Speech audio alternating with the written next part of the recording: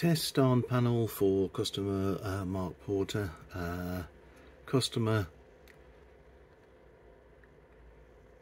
noted that uh, the temperature gauge wasn't working.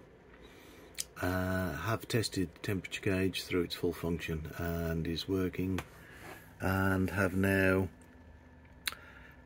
heated the um, sensor to initially 90 degrees. Uh, obviously it's losing heat now.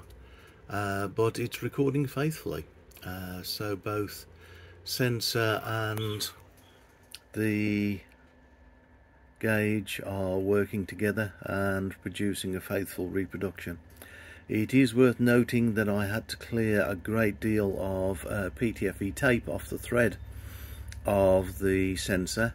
Uh, the sensor earths through the threads, uh, so there should be no PTFE tape used on it because um, that will stop the signal getting through um, from the gauge. So uh, please, when you refit, do not use PTFE tape as that will cause the sensor not to uh, function as it should.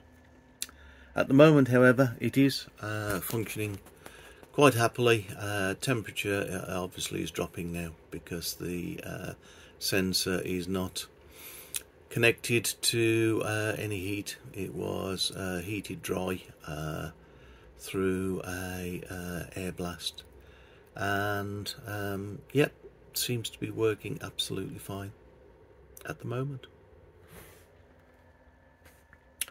So once more, please, uh, when you refit, do not use PTFE tape. Thank you.